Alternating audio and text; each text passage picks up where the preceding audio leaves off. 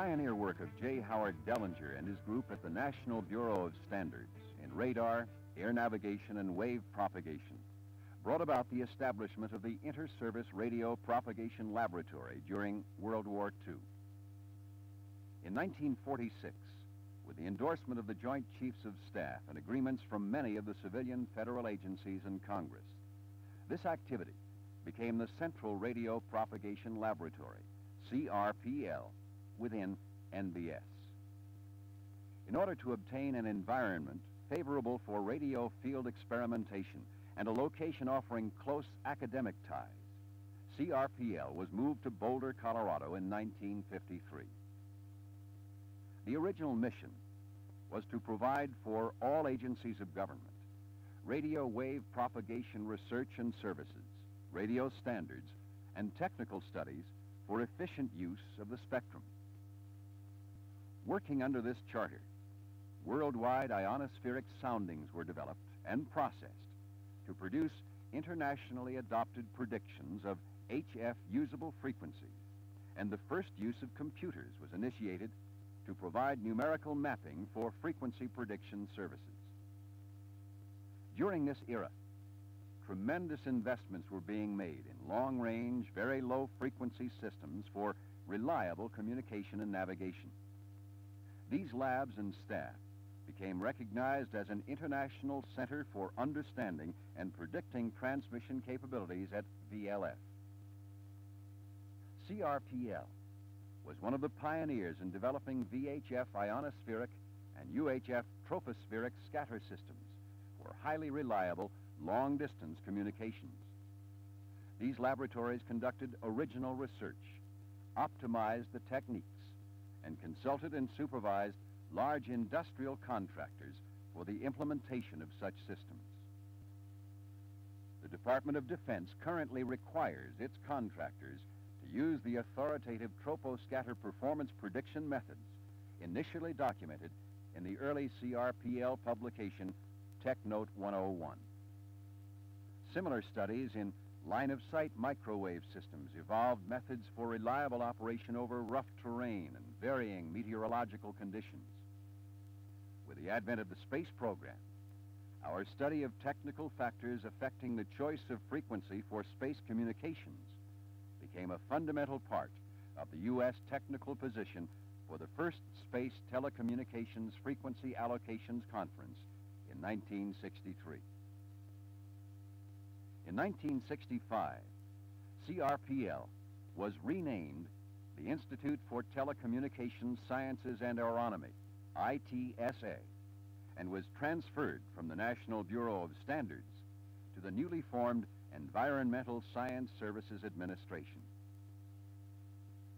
At this time, new outreaches were recognized toward environmental sciences on one hand and toward the broad field of telecommunications on the other. By 1967, the potentially broader role in telecommunications stimulated the formation of the Institute for Telecommunications Sciences. This institute was transferred to the newly formed Office of Telecommunications in October 1970, where its broad telecommunications research role has become more strongly delineated. Historically, our work had been strongly propagation related. Field measurements had been conducted in many locations around the world, the data analyzed, methods developed for prediction of radio performance, and services provided for applying and disseminating this information. We assumed a strong responsibility for the performance analysis of radio systems in their operating environment and the interference effects from and to other systems. Channel characterization and simulation prediction of the characteristics of the medium became a central focus. We developed abilities to address communication system problems, coupling the knowledge of the propagation media into many aspects, such as the design of optimum modulation, coding, antennas, and cost effectiveness. Field measurements have given us some indication of fading characteristics of simultaneously operated discrete channels up to 40 gigahertz. Such experimental systems evaluation, combined with parametric analytical studies of multipath effects carried out on computers leads to the prediction of limitations on the performance of very wideband systems. The need for digital communication systems carrying voice, video, data, and facsimile traffic will grow rapidly in the near future. Applied scientific research at the horizon of fields relating to our mission has continued to produce results of vital importance to radar, navigation, radio, and satellite communications. Experimental studies of radio refraction and absorption properties of water vapor near the 22 gigahertz resonance have been verified in the laboratory.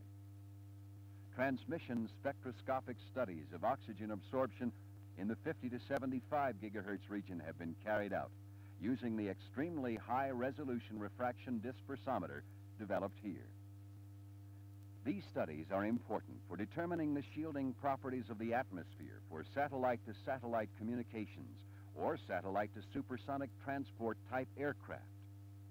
Calculations based on laboratory measurements indicate that isolation of the order of 100 dB is possible between satellite and terrestrial systems using the atmosphere as the absorbing medium.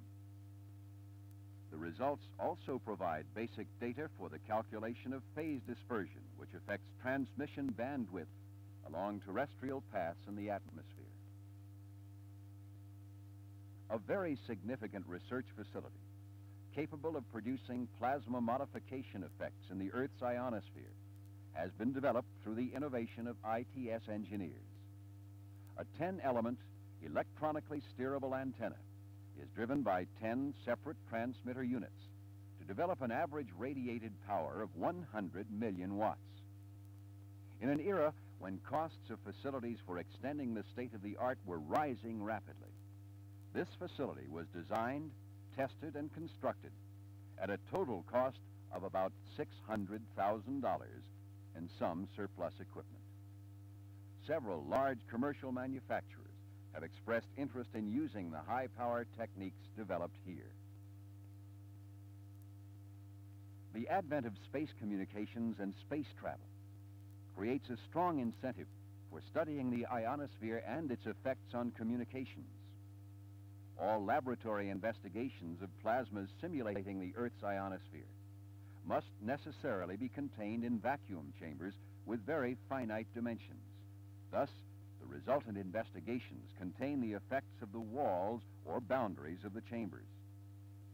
Also, the influences of the Earth's magnetic field and the continuous plasma stimulation from extraterrestrial sources are difficult to simulate in these laboratory experiments. Many surprising results have been obtained by the experimenters working with this new research tool. The upper atmospheric plasma physicists have been forced to go back to the drawing board to explain phenomena observed by both passive and active probing of the disturbed region of the Earth's ionosphere.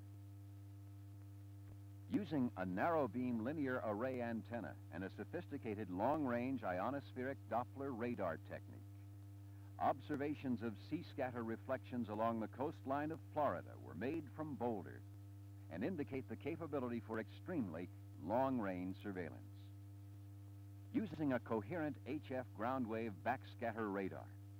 It has been demonstrated that spectra of sea wave returns at distances of several hundred miles can be obtained. And from these, amplitude and velocity of sea waves can be determined. These techniques are believed to have great promise in detecting hurricane winds for disaster warning.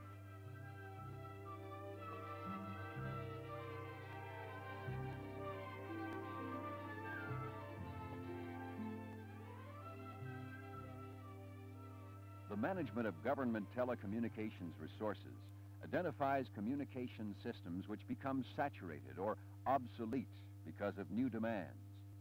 It points up the very strong need for interoperability of communication systems. This means standardization and compatibility of modulating and demodulating equipments. This requires system testing facilities where competitive systems designed to operate on the same channels can be evaluated when statistical models of channel performance are available. Simulators, such as the ionospheric channel simulator shown here, provide the means for testing and comparing new modem designs under realistic, repeatable, and known channel characteristics. Similarly, our data processing laboratories become the backbone of our thrust to extend these simulation capabilities from VLF through HF to VHF, UHF, and ultimately to SHF and EHF. The high-speed digital computer, programmed to provide time-varying transfer functions through the use of digital filter algorithms, makes possible new approaches to channel simulation. At the higher frequencies, rapid channel fluctuations and complex interactions control the statistical properties of the transmission channel. The advent of wideband systems working in the 10 to 100 gigahertz range requires a much more detailed understanding of the additive and multiplicative interactions between the signal and channel parameters. For this reason, the design and implementation of very wideband telecommunications systems for the future require the establishment of test beds for developing and testing competing concepts and systems. The very rapid growth in the demand for commercial use of the radio spectrum creates great demand for more efficient ways of using the spectrum. The crowding of the spectrum for commercial broadcasting, television, mobile radio, and public safety is well known. We have initiated new programs to measure the spectrum occupancy of crowded bands and to characterize this occupancy in terms of a grade of service or lack thereof. The experience developed in prediction techniques for optimum frequencies for long-range communications is now being directed toward these troublesome spectrum occupancy problems. We anticipate that new means of using this overcrowded resource can be found to accommodate the increasing demand. This demand for commercial use of the spectrum will surely increase, at least in proportion to the level of federal funding of state, local, and regional governments for the enhancement of public safety, public health, and general domestic welfare. Finally, the demands which we see for drastically increased urban communications cause us to explore optical communications for short-haul applications. These demands result from the use of telecommunications in education, business, entertainment, protection, interactive television in homes, and other wired city concepts, along with continuing evolution of advanced solid-state technology. The threat of rain, clouds, dust, and fog in limiting the reliability of optical communication links can be largely overcome when the systems to be interconnected are all contained in interconnected buildings. Also, the great promise of fiber optic transmission lines with relatively low loss and extreme bandwidth capability makes optical communication systems a promising hope for future expansion of the industry. The technology could provide the way for a new society based on information and knowledge transfer as indicated by many forward-looking predictions of today. Our new mission now requires us to provide technical support to the Director of the Office of Telecommunications Policy in connection with his responsibilities in government frequency allocation and management and policy development. We continue to provide technical support to the Secretary of Commerce in the promotion of domestic and international trade. The Institute for Telecommunication Sciences stands ready to assist governmental agencies and industry in technical analysis, expert technical consultation, the promotion of performance standards, the undertaking of applied research, and the evolution of telecommunications for the benefit of all mankind.